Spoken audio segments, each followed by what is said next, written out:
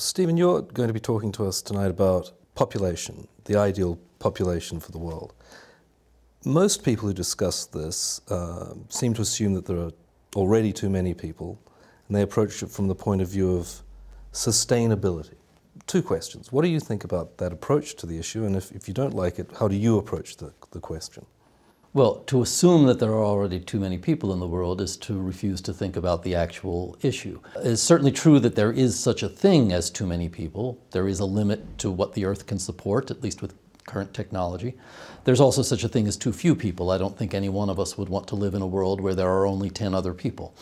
Uh, and so once you've acknowledged that there's such a thing as too many and such a thing as too few, uh, then you've got to face the question of whether we've currently got too many or too few, and you need a, a framework for thinking about that. Can you describe the framework that you, you think is the, the right one? Yeah, I think it's the same framework that we use to decide whether the world has too much or too little of anything.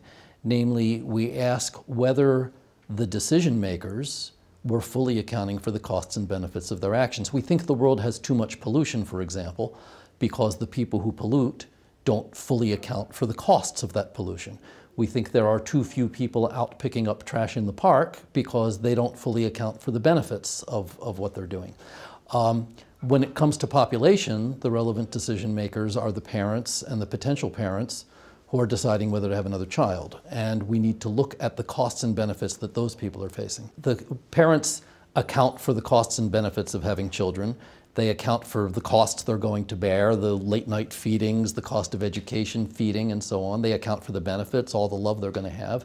Nobody needs to second guess that. Those are people making choices for themselves, and we generally think that when people make choices for themselves, they make the right choices. The social issue comes up when the effects of those choices spill over onto other people. So when parents decide to have another child, the, the costs and benefits that are really interesting for this issue are the costs and benefits that spill over. On the positive side, more children, more people means more diversity. If you like Ethiopian restaurants, if you like chamber music, if you like parasailing, if you like videos from the Institute for Economic Affairs, then uh, you should be very glad that the world population is as big as it is because you need a critical mass for those things and they're all hanging on by a thread.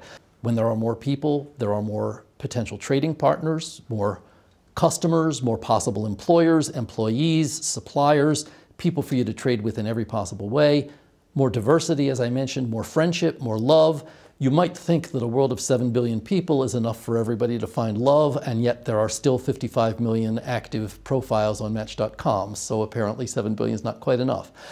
But all of that leaves out the big one, and the big one is that each person who is born spends a lifetime having ideas. Little ideas like, hey, let's put on a play, big ideas like, hey, I wonder if I can make uh, computer chips out of silicon. Other people benefit from those ideas because they copy those ideas and they build on those ideas and it helps make other people's ideas better. Those are all benefits that parents generally don't account for when they decide to have another child. They spill over and those are reasons why we should want the population to be bigger than it is. Now that doesn't mean there might not be countervailing reasons in the other direction, but those are all reasons we should want more people.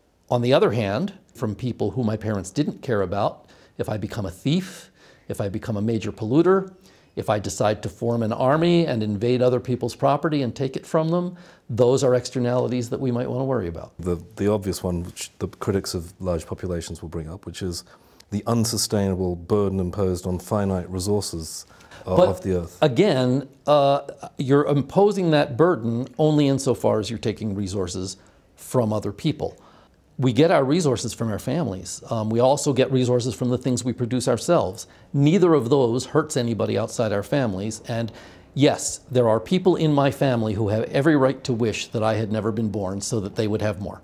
Um, but I don't think you have a right to wish that because if I hadn't been born, all those vast resources I got from my parents would not have gone to you anyway. How else do I take resources away from you? Again, maybe I trade you something for them, but that's not that's not a cost to you. If you want to argue that there's a negative externality in the fact that I'm taking resources from other people, you got to talk a, pretty hard about exactly how I'm getting my hands on those resources and why it's negative. And I think in most cases you're going to find that hard to do.